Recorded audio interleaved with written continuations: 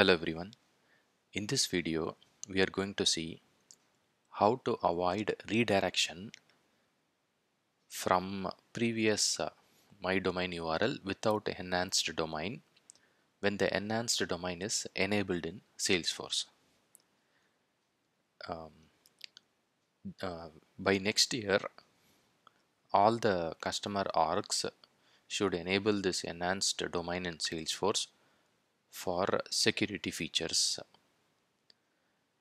To avoid attacks and uh, to avoid unnecessary uh, traffic from uh, uh hackers or uh, uh, other cyber issues we have to make sure this enhanced domain is enabled in our org.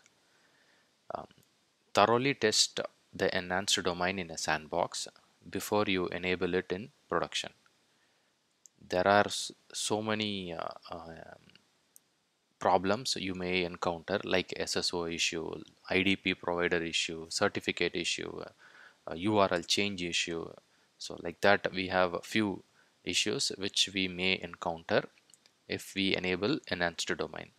In this video we are going to see how to thoroughly test so that all the integrations are in place when we enable enhanced domain if you go to my domain in Salesforce you will see a section called routing. Make sure you just enabled my uh, enhanced domain uh, and uh, make sure you haven't changed the URL by yourself. If you do both at the same time you might not see this particular uh, change. If you change uh, multiple things at the same time you may not uh, see this particular feature what we are talking about.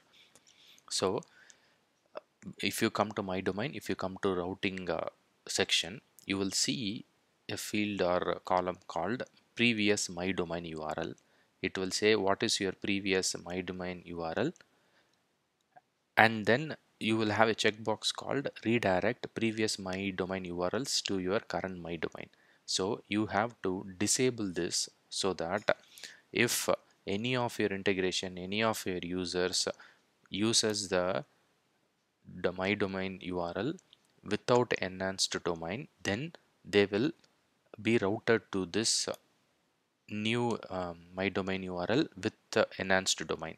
So the the URL is going to be the same mostly it will be the same but if they access it without enhanced domain it will redirect so if you enable this option we may not know whether it is going to work continuously by redirecting us.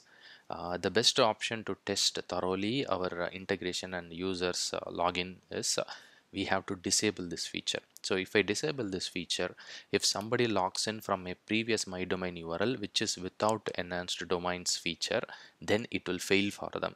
So that's how we will be able to easily find out that um, we are testing it um, um, inappropriately. So in order to accurately test it make sure redirect previous my domain URLs to your current my domain URL is disabled.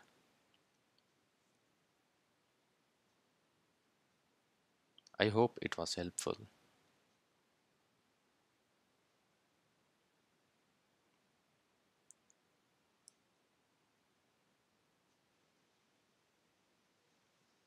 Thank you for watching.